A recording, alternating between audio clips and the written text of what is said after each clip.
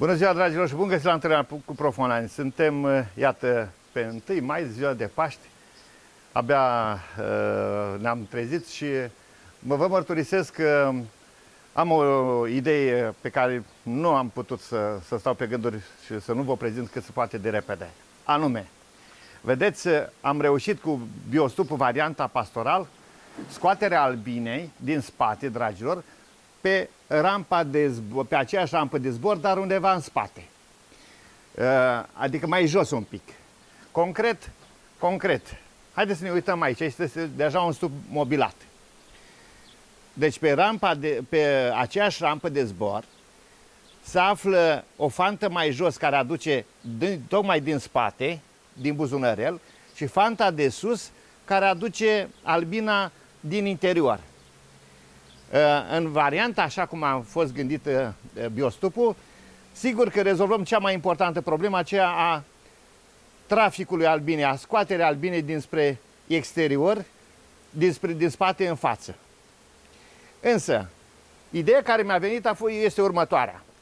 Datorită faptului că ele sunt paralele, deci sunt pe la același nivel, se întâmplă un lucru. Albina, în general, aleatoriu se va aduce fie în familia din față prin rampa de sus, prin fanta de sus, fie prin uh, partea de jos. Sigur că discongestionarea se produce în funcție de tot ce înseamnă densitatea de acolo, nevoile concrete, nu prea e bine dirijată treaba. Și atunci, iată ce idee am. Nou, noutatea constă în asta, că vom voi vorbi cu Viorel. Ascultă-mă, Viorel. Acum ați transmit chestia asta. E în direct. Uh, uh, va fi rampa de zbor mai mare cât asta, deci mai lată un pic, iar tu, Viorele, îmi obturezi și faci fanta de zbor pentru albina de jos doar pentru 5 cm. Atenție ce spun, 5 cm. Vii pe direcția asta în sus și începe fanta, a doua fantă, de aici, Viorele, din direcția acelea care s-a terminat aici, începe cealaltă de-a doua. Și continuă pe, să spunem, pe 10 cm, fanta a doua. Ce se întâmplă? Albina care vine cu greutate va, se va așeza pe rampa de zbor și cea care în partea din în partea stânga a mea, în partea dreapta a voastră, cum priviți, va intra în spate. Cea care vine de, de care vine și pe aceeași rampă de zbor, fie că dintr-o parte sau în cealaltă, deci pe partea cealaltă, pe partea, pe jumătatea cealaltă a, a râmpii de zbor, cealaltă albină va, natural va ridica sus, va ridica, va vedea închisă fanta aici. Deci asta în partea asta e închisă și va ridica sus, că albina are tendința de a se urca tot timpul sus și atunci se va duce în, în familia de bază. Deci, practic, cele două fante, unde se termină prima, Viorele, unde se termină prima, începe cea de-a doua. Atenție, Viorel, insist, îți spun încă o dată, vii cu fanta asta până în margine, ca să exploatezi până la colț uh, coloarul de zbor, nu trebuie să fie mai mult de 5 cm, da? mai mult de 5 cm nu trebuie să fie, ca în partea a doua să am și colectorul viorele. Deci fanta de sus, care aduce albina din corpul de bază, vreau neapărat, dar neapărat, să mă faci ca lungime exact pentru colectorul de polen. Da? Pentru că vreau să colectăm polenul și prin fanta așa asta de aici, din corpul de bază. Numai în corpul din spate ă, lăsăm doar cei 5 cm culoarul de scurgere a albinei, nu faci nici prea lată culoarul de scurgere, viorele, ca să pot băga colectorul. Deci pe direcția uh, colectorului să polenul să poată cădea în, în uh, sertăraș. Deci aceste lucruri le transmit Viorel pentru că este esențial. Ceea ce facem acum este de-a dreptul istorie. Nu exagerez deloc când spun asta, pentru că în clipa asta am rezolvat cea mai importantă problemă a modului în care albina din spate o duc în, o folosesc în corpul de bază. Deci este spectaculos. În momentul în care am chinezii suficienți, nu? Adică am uh, albină foarte multe, am sporit producția colosal aici. Colosal. Deci nu vă spun. 30% câștigă în producții. Așa că, din clipa asta, toți biostupii, pastoral sau staționar, cu șase rame aici în spate, atenție, deci toți biostupii, pastoral sau staționar, vor avea acest canal de scurgere viorele, țin neapărat acest canal de scurgere și vom avea și buzunărelul aici lateral, în varianta care știm noi tradițională. Vom avea și rampa de zbor la, care se aducă de aici. Pentru că, în condițiile în care a apărut culesul, eu vreau să bag toată albina din spate aici, la cules. Cum fac asta? Am închis rampa de zbor lateral, de aici, o să vă arăt îndată că avem modelul cu rampa de zbor lateral, am închis aici, sunt deja albinele obișnuite și picularul de scurgere din spate și practic nu îi oferă albinii decât șansa să meargă pe partea asta. Colectez astfel toată culegătoarea. Este nemaipomenit ce vă spun. Toată culegătoarea acestuia o bag 80% din ea, deci 80%, 70% o bag aici. Pentru că cu greutate când vine, insist, toate care se va pune pe partea asta a râmpii de zbor, va urca și va intra în familia de bază. Toată cea care iese, va ieși din corpul din spate. Da? Deci care iese, iese pe, din partea asta altă și care se așează din ea pe partea asta de aici, se va duce și în familie, că am nevoie și în familia de bază. Și de polen am nevoie și am nevoie și de uh, apă și așa mai departe. Mai am o idee, dragilor. Să știi că varoa se împrumută, sau dacă vreți, varoa trece de la o familie la alta, atunci când albinuții stau la adăpat. Ele stau din diverse familii la adăpător, una lângă alta, și atunci uh, varoa coboară pe picior, se duce pe celălalt albinuță care e vecină, el la apă nu se ceartă, albinul nu se ceartă la apă. Și așa aducem varoa și într-o altă familie care nu e infectată, de care, deci n-a fost infestată cu, cu așa ceva. Ei bine, am soluții și pentru problema asta. Avem uh, în spate, avem hrănitorul. Uh, hrănitorul cu, rampa cap, uh, cu rama capcană. Da? Deci ce veți face? Foarte simplu, dragilor. Voi care sunteți la vagoane și cărați apă, nebuniți, vă ce certați între voi uh, uh, și spune, băi, dar numai eu să car apă, fă și tu, adu și tu, să care, mă rog, cu, cu bidoanele. Albina are foarte mult nevoie de apă. Și atunci, în rama capcană, asta aici unde jos se construiește, avem hrănitorul. Puneți tot timpul apa aici. Deci la vagoane nu mai puneți apa pe afară. O puneți în familia voastră aici, puneți în adăpătorul vostru. Și ce vă spun, dragilor? Veți folosi apă și cu protofilul pe care îl faceți deoparte, după rețeta aceea care o găsiți pe internet. Și nu apă simplă apă, nu puneți și să o îndulciți un pic, atunci um, determinați albina să care mai multă cantitate de apă și o ventilează, o perdeți. Ea într-o jumătate de oră ți-o golit dacă, dacă ai pus și ceva dulce acolo. Ai mestecat cu cu miere, cu scursuri, nu știu ce, nu, apă simplă cu 17% uh, protofil pus la litru, uh, uh, veți obține un efect extraordinar, extraordinar.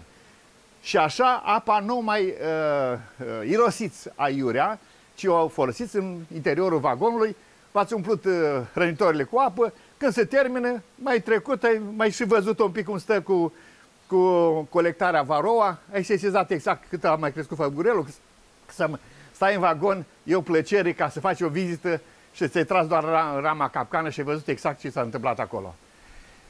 Uh, deci, atenție multă. Biostupul în clipa asta a devenit nemaipomenit de valoros pentru că a rezolvat problema și la vagoane, dragilor, cu eficiență maximă. Mățile nemulțit de o parte, le împerichează de o parte în înmulțitoare și totul merge perfect. Ce vreau să vă mai spun este că uh, merită să rețineți din clipa asta că toți, toți biostupii care vor fi executați vor fi în varianta, cum am spus, și cei staționari cu culoare de scurgere, așa cum am povestit acum. Azi dimineață m-am uh, gândit la ideea asta și am ținut neapărat să vă pun, să vă prezint, pentru că uh, nu se merită ca să pierdem timpul câtă vreme, iată, ideile apar, voi trebuie să știți cum să reacționați și să obțineți, uh, uh, uh, să aveți eficiență maximă. Tot, tot secretul în asta constă. Dacă am eficiență maximă, atunci merită să mă ocup de apicultură. Dacă nu, ne lăsăm pe gubaș. Ei bine, mai v-am mai arătat și vă mai spun încă o dată. Iată, ăsta e colect, colectorul de polen în partea dreaptă. Dacă l-am pus, deci l-am pus, aseară am pus colectorul, s-au adunat câteva bobițe acum dimineață, dar în partea asta avem câteva bobițe de polen adunate, în partea cealaltă nu e nimic, pentru că lipsește colectorul de aici. Da? Lipsește din partea asta colectorul. Și de aceea am spus, nu-i păcat, Viorele, să nu colectăm și aici, tu ai canalul acolo cum îți vine de scurgere și nu mai ai unde să bage, dar dacă tu ai înțeles, Viorele, și sigur ai înțeles, cam atât am faci, cam 5-7 cm canalul de scurgere, fanta se termină aici pentru, pe rampa de zbor, iar pentru partea a doua, fanta a doua de aici începe, nu? Și aici va intra albina în corpul de bază. Uh, cât polen se adună?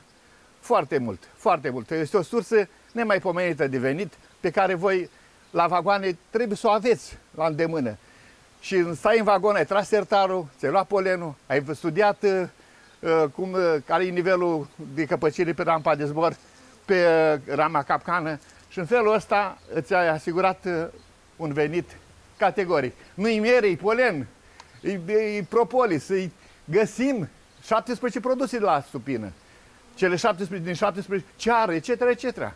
Nu există alt, uh, apilarnil și mai departe. Nu există alt stup care să fie capabil să facă atâta performanță. Așadar, uh, vreau să vă spun că în clipa asta am la vânzare varianta aceasta de biostup cu în variantele următoare. Dacă am mai șapte rame de puiet și încă două, șapte rame cu puiet și cu două stânga-dreapta, cu 450 de lei. La fiecare adăugare a câte unei rame de puiet, mai creștem cu 50 de lei. La fiecare ramă, până la 12. Deci, finalul este că aici pot să am 10 rame cu puiet și două cu hrană. Da? 10 rame cu puiet și două cu hrană. Când te-ai dus cu 10 rame cu puiet aici și ai plecat să ataci salcâmul și ai și în spate și cele șase, aici în spate cea de-a doua matcă cu șase rame de puiet. Deci cu 16 rame de puiet, cu două măci care lucrează pentru spațiul acesta de magazia de aici, cum să spun, în două zile ți se umple catul. Nu discutăm. Deci în clipa în care ai așa o dotare, cu băgatul albine și tot ce... Apicultorul știu ce spun eu acum. Deci începem de la 450 și sporim până la 12, înseamnă 7 rame cu puiet, plus 2, și pe urmă cu câte 50 de lei la fiecare ramă pe care o adaug. Dacă doriți și în spate, avem și varianta în spate, la care ă, ăsta din spate pe 6 rame cu puiet cu 400 de lei. Deci 6 rame cu puiet cu 400 de lei. În final, vreți și stupul, biostupul, îl vedeți pe internet, el e 500 de lei. Biostupul dotat, vopsit, tot, tot, tot, tot în varianta aceea. Deci în varianta nu asta. Că vedeți, ideea este proaspătă acum, ai venit de azi dimineață cu canalul de scurgere. Uh, probabil că toți biostupii vor suporta această modificare care v-am spus-o acum. Uh, avem uh, rampa de zbor aici lateral. Voi o știți foarte bine, cea care permite ieșirea albinii din buzunărel. Deci pentru varianta asta acum, așa ceva. Mă bate gândul să-i spun lui Viorele, Viorele, într-o săptămână trebuie să faci un 50 de eh, lăzi cu varianta nouă pe care am spus-o. Deci asta e urgența urgenților și să le oferim oamenilor, uh, acum sigur, după ce am povestit chestia asta, Inclusiv cu, cu stupul acesta, sunt al lui Marius de la Constanța. Marius, te salut. Îmi pare rău că nu mi-a venit ideea mai devreme cu, cu o săptămână, că uh, trebuia să fie așa organizat, cum ți-am spus. Acum, tu ce vei putea face, Marius? Vei pune tu aici o bucățică de scându, o, o șipuliță, obturez, ca să înțelegi exact, Marius, ce posibilități ai. Iată cum, cum aș face eu. Uh, deci, viu și obturez partea asta de aici. Uitați cum o faci, cum am să o și fac acum. Așa. Dau cu o bucățică de lemn fac asta. Iată concret. Albina am lăsat-o numai pentru cea care vine de sus jos. E alta care vine pe partea asta. Pot să pun aici și o bucățică de celofan. Las toată fanta asta liberă. Că eu vreau să câștig cât mai mult albină care să ducă în corpul de, de bază. Sigur, ca să fie treaba deșteaptă, ca să vorbesc pe... Iată, așa trebuie faci, să faci tu viorele. Da? Deci s-a terminat. S-a terminat fanta de zbor la asta și începe la cealaltă deasupra. Asta este ideea spectaculoasă. Dar vreau acum, Viorele, să-mi faci aici spațiu de cât? De cât este hrănitorul, de cât este colectorul, ca să pot băga și colectorul la mic. Uh, am nevoie de așa asta, dar atenție, tu, Viorel, trebuie să te duci cu canalul de scurgere, încât în clipa în care bag colectorul, să nu cadă polenul pe canalul de scurgere, ca să pot să, să, deci să am șansă să iau polenul, nu? Asta e toată chestiunea. Da, asta, asta trebuie să faci. Iată, chiar am să fac asta peste tot acum. Pentru că disciplinez albina și se va întâmpla ceea ce am, ceea ce am spus eu mai devreme. Albina care vine de la câmp, care este grea, va urca sus și se duce aici. Cealaltă care iese din spate și mai vine și pe partea asta o parte din ea se duce foarte bine jos. Dacă însă mai pun și o, un, uh, un culoar de să pun în pioneze. Hai să vedem dacă am la mine pioneze, două, trei pioneze, să vă și arăt. Am mai făcut eu din, din folie chestia asta. Deci am împărțit canalul asta în felul următor. Ia uitați-vă. Ia gândiți-vă voi că pionezele poți face oricum și am făcut așa. Da? Ia uite și șmecherii simplă. Și am făcut așa. Și în felul ăsta, care au căzut pe partea asta să duce în spate, care au căzut pe partea cealaltă, sigur că aici este mai mare, e mai mare și atunci nu mai am, am siguranță 100% că toată albina asta se va duce în corpul de bază. Iar albina cealaltă se va duce în care pică în partea asta în corpul din spate. Marius să ți le fac pe toate așa, încât să, să putem organiza cât de cât. Ce îți lipsește ție, Marius, acum? Nu ai varianta colectorului. Iată că și varianta ta, după ideea mea, a putut să fie, dacă însă, Marius, dacă însă am să am timp, aș merge aici să fac fanta un pic mai mare, să o lungesc, fără să ies din cadru exact cât să o acopăr, să văd dacă pot băga și un colector acolo. Deci să-ți fac toată povestea asta uh, concretă, uh, încât să te bucuri. Așa cum spuneam și altă dată, nu e mai mare stare de bine pe care o am decât aceea ca să văd pe cel cu care stau de vorbă să-l bucur. Să plece spunând, da, profesorul chiar, chiar nu doarme și are decât, nu are decât un singur scop. Acela de a ne ajuta să obținem performanțe în apicultură. Dragilor, deci este într-adevăr un moment istoric pentru că această problemă a scoaterii albinei din spate pentru vagon m-a frământat de foarte, foarte multă vreme. Cred de prin 2012 mă tot gândesc și o șansă a fost, o idee a fost asta cu gâtul de pet de aici, dar nu eram chiar încântat pentru că era prea mic, albină mult în spate, și a fost ideea asta a celui de la, din Anglia, care, vedeți, sunt oameni de bine care uh, s-au atașat ideii mele și au găsit soluții pentru ca uh, uh, să, să facem ca biostupul să progreseze de la o zi la alta. Și în loc să mă critique, și în loc să mă jure, iată ce face tipul respectiv. Gândește aceste două fante. Și o domn profesor, în loc de canalul de scurgere acolo pe centru, eu am gândit cele două fante, că zice acolo s-or distribui ele cum or, cum or putea. Uh, mai mult sau mai puțin și nu mă interesează. Și acum am zis, ba mă interesează, mă interesează. Și atât ce fac? Uite, cât de simplu. O să vedeți cât de clar și cât de corect fac această, acest control a împingere a albinei într-o uh, măsură cât mai mare a... Dar nu mă interesează albina 2 care stă aici. Mă interesează albina aceea care iese la, la câmp, da? Și asta am făcut aici. Uh, asta este ideea uh, pe care am vrut să vă prezint. Nu uitați, deci începem de la 450 cu 7 rame de puieș cu două. Din clipa asta am la vânzare cât doriți voi. La revedere, pe curând!